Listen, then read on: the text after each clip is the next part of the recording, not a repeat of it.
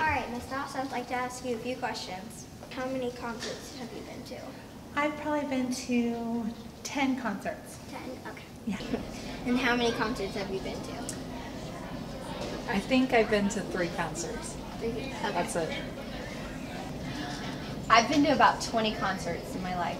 Uh, Oh, and I've been to probably 10 concerts. oh, good lord. Too many to count. I'm going to say. Like an exaggeration. Oh, by I the think way. exaggeration? Hyperbole. Ooh, I'm going to say 5,217. I have been to about three concerts. All of them were when I was much younger. And how many concerts have you been to? Three. Two. In my lifetime, I've only been to about four concerts. Yes. Uh, too many to count. Probably, you know, since I direct concerts, probably mm, maybe 20 a year. So I'm 34 years old. So um, 500 million. Okay. All right, thank you. Ooh, maybe 10? Mm, gosh, that's a difficult one because I love classical music, so I've been to classical music concerts since I was a child. Probably over 20? Um, I've been to quite a few, approximately around 35 to 45. Concerts? Hmm, gosh, probably like 20, Okay. maybe more. In my whole life? Wow, that would be hard. I would have to count. So my first concert I went to was like when I was 16 years old. And since then, I don't know, maybe 20, 30 concerts? Maybe probably around 22. Okay. Um, No, I'm not a big concert goer, maybe 10. Probably over 25. over here. Yes, ma'am. Counting the one I'm going to on Sunday at the rodeo, 15? 15.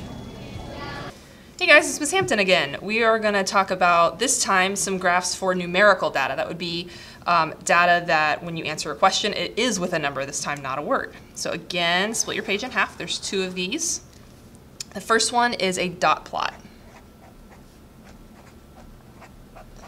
So dot plot is a lot like a bar graph um, or a pictograph, but instead of having categories across the bottom that are words like Italian, Mexican, burgers, and Japanese, we're to have numbers across the bottom because it's a number line. So we'll draw a number line across the bottom. Um, and we're going to use the data that um, Leah asked our teachers about the number of concerts they've been to. So if we ignore uh, Ms. Broughton's 5,217 concerts and Ms. Campos's 5 million concert, 500 million concerts, then we're just going to do our number line from about 0 to like 40. 0 to 40. And you don't have to put 40 tick marks in between. I'm just going to count by like fives probably.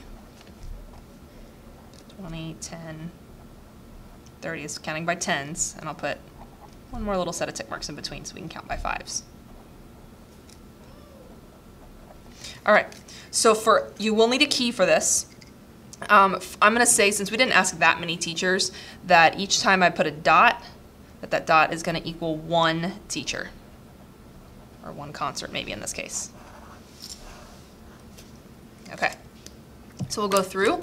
Um, we had three teachers say that they went to three concerts. So at about three, I'm going to put one, two, three dots.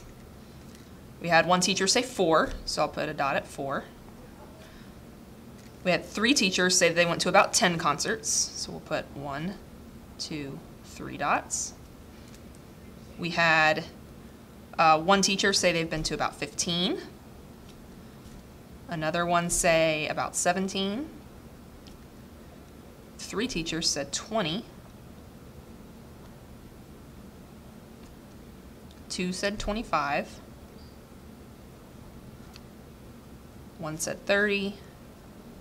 And 135. So get your dots placed on there. Pause if you need to. Um, when you're done, this will look kind of like a bar graph. You can see that some of the most frequent um, concert numbers is like 20 or 10 or even down here at 3. Um, answer questions kind of the same way that you do with a bar graph. All right, the second type that we're going to use the same data is a stem and leaf plot, which you might remember from fourth grade.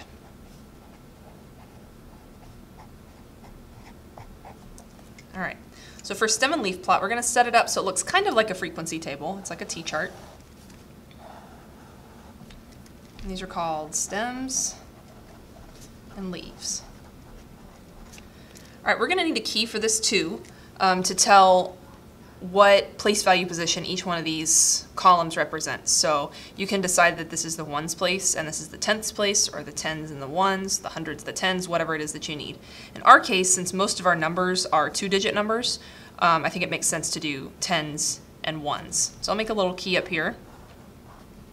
It says if I have a number like 1, 4, that that means 14, not 1.4 or 0.14. All right, so we're going to put our data in here. Um, when we have zero tens, start with that. We have a couple of numbers that have zero tens. We have these threes and the four. So we're going to put, we had three threes. We'll say zero tens, three ones, zero tens, three ones again, zero tens, three ones again, zero tens, four ones. So this tells me so far I have a three, a three, a three, and a four. Now if I do one ten, have a couple of numbers that have 110 and then some ones. I've got some 10s, I've got a 15 and a 17. So we'll say we had three 10s. That'd be 110 zero ones, zero ones, zero ones. There's three of those. We had 110 and five ones. And we had a 110 and seven ones.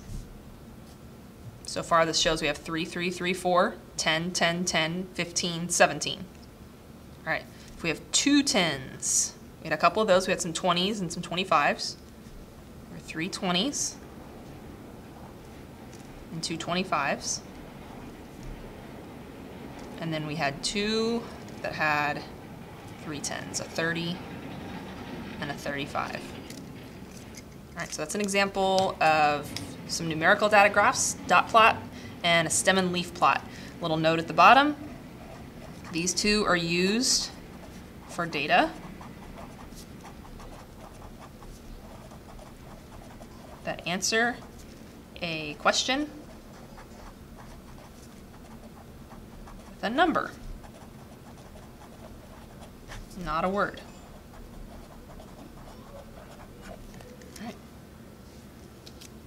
20 a year, so I'm 34 years old, so um, 500 million. Okay. All right, thank you.